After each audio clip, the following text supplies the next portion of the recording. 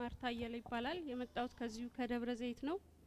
የምመሰክረው ምስክርነት የዛሬ አመት ጥቅምት 15 ላይ ልክ ዛሬ አመት ነው የሚሆነኝ የአምስት ወር እርጉዝ ነበርኩና ተጨናግፎብኝ ነበር እና ከዛ ከተጨናገፈበት ጊዜ ጀምሮ ለአራት ወር አለማቋረጥ ደም ይፈሰኝ ነበር። በጣም ከባድ ማለት ነው እና ወደ ሐኪም ቤት ተመልሼ በሚሄድበት ሰዓት የሚሰጡኝ መድኃኒት ደሙን ያቆምልሻል በሚል የባሰ እንደውም እየፈሰሰ ነበር በጣም ማለት ነው ደሙ።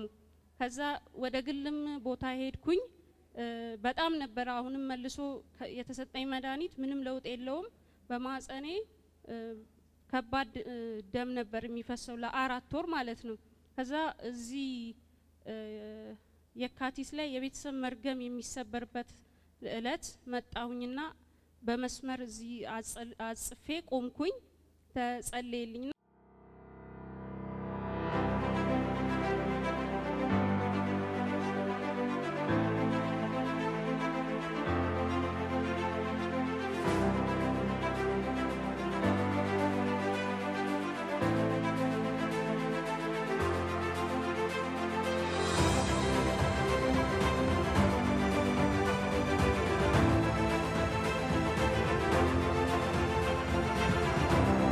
ደሙ በሚፈስበኝ ሰዓት ምንም አይነት ህመም የለኝም ይፈሳል እንጂ ከተጸለየልኝ በኋላ ወንበር ላይ ከተቀመጥኩ በኋላ በጣም ታመምኩኝ።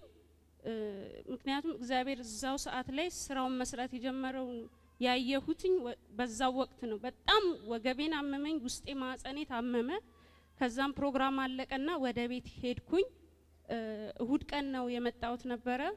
ማክሰኞ እለት ወደ መጸዳጃ በገባሁበት ሰዓት ቢያንስ የመዳፌን ግማሽ ያክላል ከማህፀኔ የወጣው በጣም የበሰበሰ ከውስጤ ወጣ። ከዛ ጊዜ ጀምሮ በሁለተኛውም ቀን እየተጎራረደ የበሰበሰ ነገር ከውስጤ ወጣ። ከዛን ጊዜ በኋላ ወደ ሰባት ወር ይሆነኛል ደሙ ወዲያው ቆመ ማለት ነው እና ይህንን ለመመስከር ነው ለጌታ ለኢየሱስ ክርስቶስ ክብር አምጡ። ኢየሱስ የደሟን ምንጭ አቆመው። ኢየሱስ ይባረክ። እህቴ በፎቶ ወይ በምናምን በማስረጃ የያሽው ነገር ነበረ ወይስ የዛን ጊዜ አልመጣልሽም? አይ አልያዝኩትም። አላሰብሽም? ግን እህታችን እንደነገረችን ከውስጧ ይሄ ደም የሚያበዛባት ነገር ውልቅ ብሎ እንደወጣ እየነገረችን ይህንን ያደረገው በመስቀል ላይ ስለ ሁላችን እርቃኑን የተንጠለጠለው በምሕረቱ ታላቅ የሆነ ርዝመቱ፣ ወርዱ፣ ስፋቱ፣ ጥልቀቱ የማይታወቅ የክርስቶስ ኢየሱስ ፍቅር ለዚች እህታችን እንዲህ ያደረገ። እስቲ ለጌታ እንደው በምትችሉት አቅም እልልታ፣ ጭብጨባ አምጡ። ኢየሱስ ዛሬም ሰዎችን ይፈውሳል። እስኪ አይበቃም፣ ባካችሁ ከዚህ በላይ እልልታ አምጡ። የአንድ ሰው ምስክርነት እጁ ይገባል ዛሬ። እጆቻችሁን ዘርጉ። ከዛ በኋላ ምንም አይነት ጠብታ አለምክንያት የሚፈስ ነገር ቆመ ወዲያው። ወዲያው ቆመው ለኢየሱስ ክርስቶስ ክብር ስጡ። እግዚአብሔር አምላክ ይባረክ። የእግዚአብሔር መንፈስ አንድ ነገር ይነግረኛል። ከዛ ወዲህ አልጸነሽም አልጸነሽም። ልጅ መውለድ ትፈልጊያለሽ? can I prophesy ትንቢት ልናገር ትንቢት ልናገር።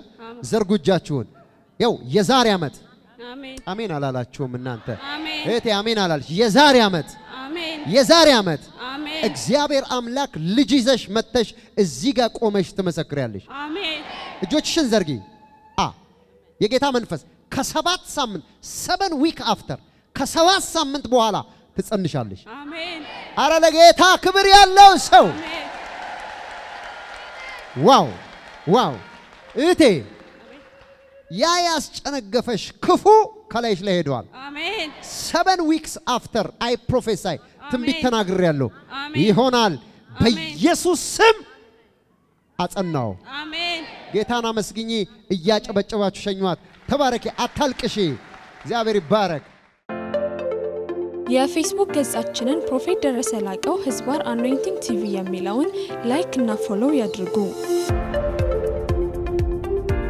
እንዲሁም የዩቲዩብ ቻናላችንን anointing TV channel የሚለውን subscribe ያድርጉ። በየጊዜው የምንለቃቸውን የተለያዩ ቪዲዮዎች እንዲደርሱ የደውል ምልክቷን ይጫኑ።